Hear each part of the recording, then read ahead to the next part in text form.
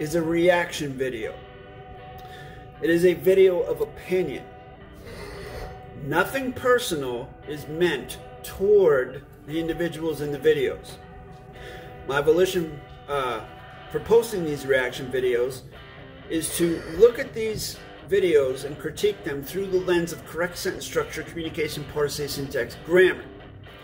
Usually they are quantum grammar related videos, and I'm looking for correct sentence structure knowledge here. And I'm also looking at the claims made in the videos through the lens of correct sentence structure, communication, parsing, syntax, grammar. Keep in mind the information, the things that I'm sharing in this video are for educational purposes only, entertainment purposes only, nothing personal towards the individuals in the videos themselves. In this one, I'm going to be looking at uh, a channel called Empress Energetics. And this individual is that, Empress Energetics. And their guest is this individual. And this individual is going to be asking this individual questions about quantum grammar. Uh, this was published when? May 31st, 2023. And from the links given down here, I will have to say that this individual comes from the colon Russell hyphen J colon Gould follower contingent. So what I'm going to do here is I'm going to listen to a little bit of this, some of the questions she's asking, and the way she answers to find out exactly what level of knowledge this individual has on the grammar. Do they know what they're talking about? Or are they just repeating catchphrases that they've heard other people say? And they don't really have a clear cognition of what they're saying, just that they're repeating these catchphrases, which is very common in the Russell J. Gould contingent. So let's let's see what's going on here. So uh, first off, I want to point you to my name here uh, you'll see a colon and then a hyphen, my middle name, and then a colon, and then my last name, period. So, what that does is set my name as a fact. So, if you look at the clock, it says. So, she made the statement, it sets her name as a fact. Now, let's see what her closure is, what her cognition is, what her understanding is of that statement. How is she going to prove that colons set her name as a fact? Like right now, it is 134. Fascinating. Um, and there's a colon there, so we know it's communicating time. So there's no subjective inter. It removes the subjective interpretation. Oh well, one three four is it 134? Is it 13 four? Is it? So it it opens all this subjective interpretation, whereas my name um, is placed as a fact that uh, for the Christina hyphen Beatriz of the Awayan family. Why do folks want to tack the name family on at the end of their name unless they're trying to convey that that's the name that's shared by their family? That's fine. But when you write out the name on a live life claim, normally you wouldn't put family in there unless you want to put it in brackets or something like that or if you literally want to attach the word family as a fact to your last name with a hyphen as a compound fact i guess. But why i don't understand why people feel the need to do that. Uh, something else she's saying about the colon. This is something that david wynn miller has said in videos where he uses the colon as an example just a way to explain why they use colons in correct sentence structure. Now, for me, at the beginning, as a beginner, that was fine. It made sense. It's like, wow, he's right, you know. But then I started to pick apart the layers, and you look at the way a colon is used with numbers. There's no spaces. Like she's saying, one, two, three, four. If it's one, three, four, if it's one thirty-four one hour, 34 minutes in the morning, 1 colon 3 4, there's no space between the colon. How do you even know what it means unless you say, give closure to what the colon means? And there's no colon in front of the 1. So 1 colon 3 4 with no spaces to me is just a pronoun. Because there's no closure given to the functions, there's no spacing to separate this term from another term or this symbol from that term to give the function uh, in the order of operations, so to speak. So while for the beginner, as this individual is over there on the left, on the port side, that might be good, you know, to get them into that mindset. But if you move a little bit further, it, there's more closure that needs to be given because more questions are going to come. If the individual, you know, is, is, is truly curious about this and truly wants to learn. Now, again, this individual, Christina, has not given any closure as to why her name is a fact and how colons figure factor into that, how, how colons figure into that. She has not given any closure. She's drawing sort of implications, but no clear closure yet. So um, it's placed in a mathematical interface or, or grammar to uh, precept the facts. Okay. Now she's brought another element into it mathematical interface. Now, if I were this Melissa on the, on the left there, be like, how's that work? Where are the numbers? What, what's she talking about? Mathematical interface to preset the facts. Isn't presetting, doesn't that negate the now space? Anything that negates the now space is no contract. Anything that's not happening right now doesn't count. So again, folks, what I'm looking here, looking for here is knowledge and closure on Christina's part. And so far, as I said at the beginning, all I'm hearing is her repeating things she said.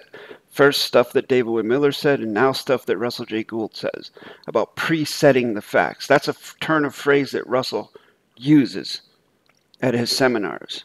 And that's a turn of phrase that he uses to explain how quantum grammar works in his mind. And so I have not heard any uh, solidification of closure from Christina other than her parroting what other people say. Um, so, how I came into this knowledge. I don't want to interrupt. Just like I'm sure a lot of people have questions. If my name and I just yes. copy pasted yours, I've seen it before, but I I can't speak about what that means.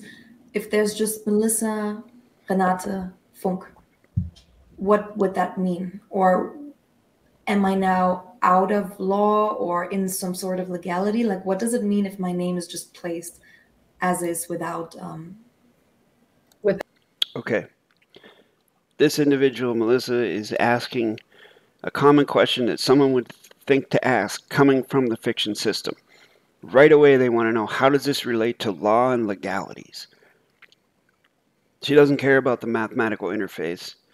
She doesn't care about, you know, what a colon means or why Christina's name is a fact, which, by the way, Christina has not said why or how her name is a fact. She's not given closure to that. Not only that, but she has compounded things by mentioning mathematical interface and has said nothing about how that works. Which, if she knew how it worked, she could give that closure in 15 to 20 seconds. But she doesn't, which is what my guess was coming into this because no one over there in the Russell J. Gould contingent does have crystal clear, clear closure on this. Uh, they just parrot what he says, and he never, to my knowledge, I mean, if, if there was closure over there, don't you think they would share it to the public? Don't you think it, it would come through in their conveyances that you know they know what they're talking about?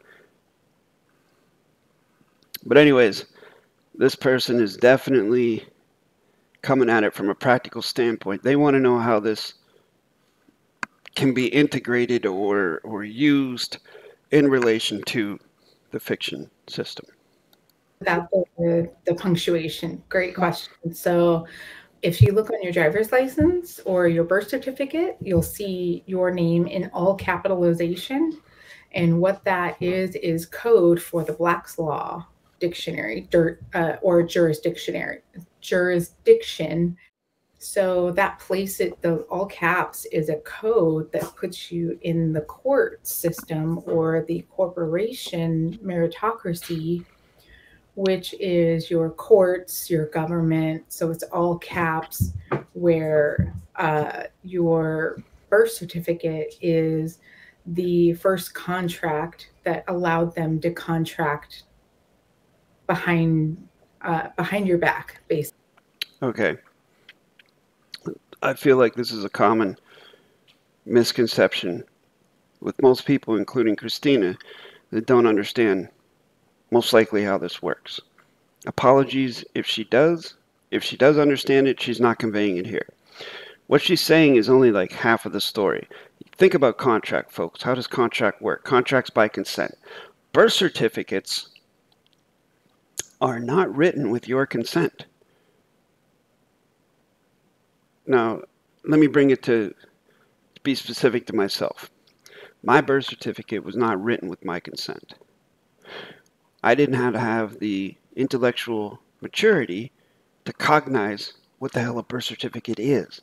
The birth certificate was a fiction babble contract that was created between,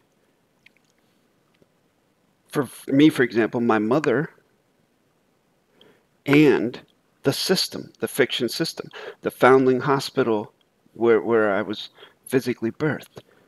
It was a contract there, it's a bill of the lading. And what she says is partially correct, or true, I would say, that that contract, that fiction adverb verb adjective pronoun contract in a box, whatever it's called, certificate of live birth, birth certificate, uh, whatever you want to call it, does tie you into that system. But it's based on assumption because you didn't consent to it. Someone else did. And so all your life, maybe you go through your life thinking that that name is your name, but it's not. You didn't create it. Someone else did. So it's not yours. So why would you use it? Well, they're more than happy to let you use it because that's how they make their money. Bottom line. So, there you go. Basically, um, there's a, a lot of uh, information out there, a lot of rabbit trails. I don't want to get too far into that, but basically, it's code for you're in that system and the colon Christina hyphen Beatriz colon Awayan puts me into the quantum banking system, which is uh, in juxtaposition as dual citizenship. So I'm here, but I'm in the world, but not of it. So I'm part of the quantum banking system. So the name, I don't want to have the all capital name because that's their format. I am now placed as a fact in the correctness. That last part, that last part is good. The last part is good. But the first part where she's talking about the quantum banking system, that may be true for her. Like she may have a live life claim that she paid for 150 bucks, 200 bucks, 300 bucks, whatever it is, through Russell J. Gould and his people, where that live life claim, uh, the terms and conditions of that live life claim, is that you have Russell J. Gould's autograph and thumbprint on it, and then you become a part of his quantum banking system. That's his system. Just like the fiction system is the fiction system, that's their system. Well, Russell J. Gould's quantum banking system, that's his system. So either which way, you're part of someone else's system. Someone else has authority over you. Um,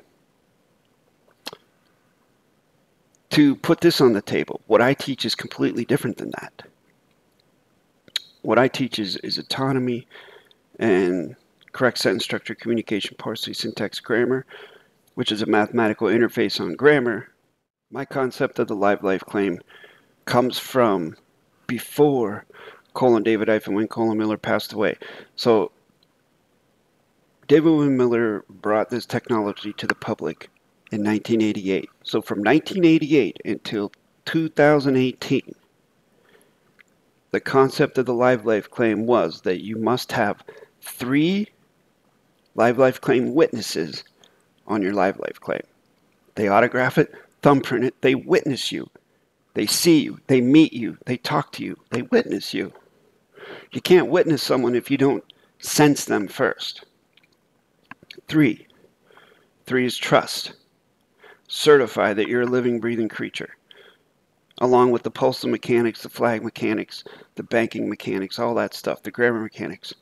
That's the concept I use and that I teach.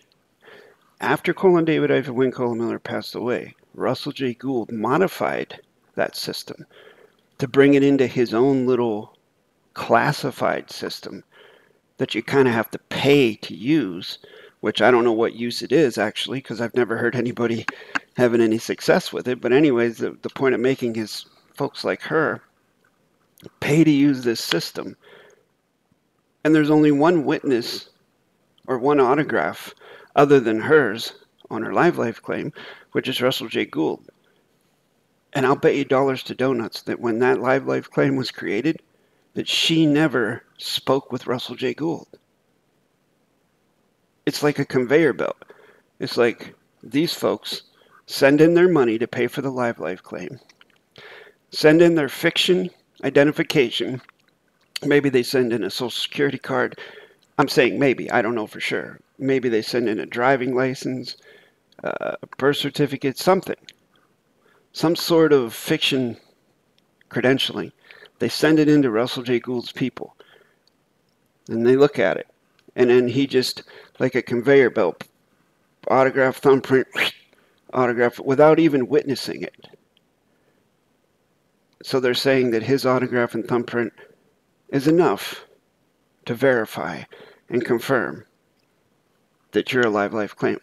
Whereas before that happened, you actually needed two or more other living creatures to witness you and autograph your live life claim. So, for my part, I have never, ever, ever agreed that anyone should have to pay for a live life claim. And before David Wynn Miller passed away, there was no such thing. You just created a live life claim on your own, of your own volition, of your own authority. So. So it cannot be manipulated. And I can go further into that as to why it can't be manipulated. Beautiful. Just to recap, so if I use the punctuation you know, I can state that I'm sovereign and I can energetically free myself through inner work and all of these things. But through the language and this, I'm basically in the physical stating I'm no longer in this world. I'm I'm outside of it. And I'm in a different, I'm in quantum law right now. And I'm operating in quantum law, right? Yeah. So when you get your live life claim, it's basically that's like the birth certificate. So you're saying, hey, I'm a living being. So if you were to uh, go and close the birth certificate account, they'll say you have killed your child, you are a murderer, blah blah blah blah, because that's how they again they can interpret it. It's that subjective interpretation. That's a new one. I never heard that one before. Interpretation. Whereas I am a for I am a live life claimant I'm a living being. I breathe and I am conscious and I'm able to make sovereign choices. So you're stating a claim. So that birth certificate doesn't allow you to state a claim because it's in a, what we call fiction language. The birth certificate doesn't allow you to make a claim? That's interesting. Because, folks, I can guarantee you that you, me, her, and that other lady contract every day and make claims using adverb, verb, adjective, pronoun, fiction, babble. Every day.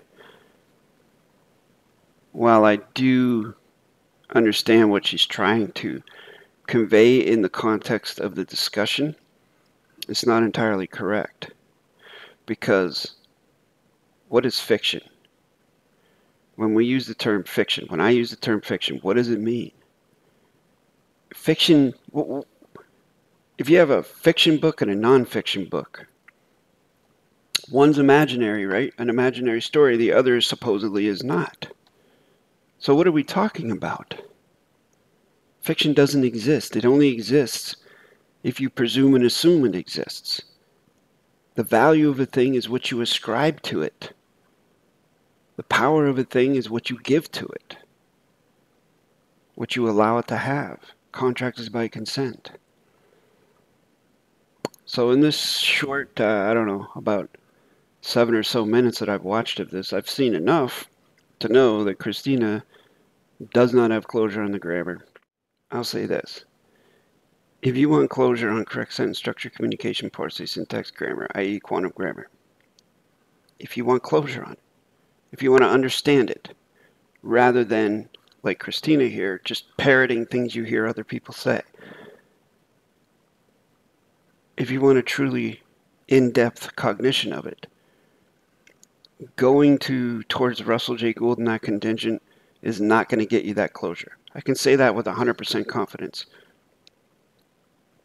In seven years of doing this, I know this. You're going to have to go somewhere else for that.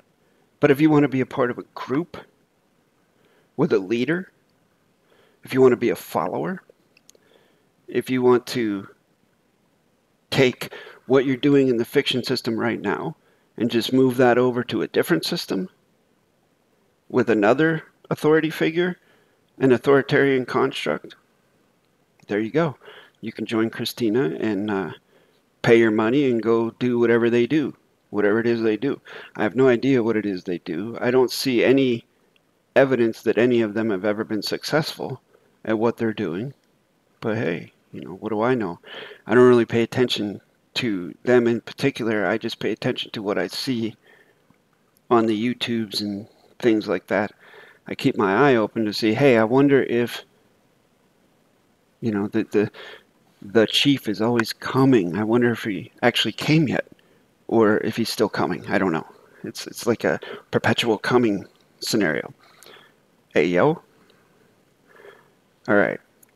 So if either of these individuals here uh, see this video, they're more than welcome to contact me at the email address at the bottom of the screen and apply for a workshop or apply for a consultation, 10 to 15 minute video consultation. They can ask me whatever they want to ask me.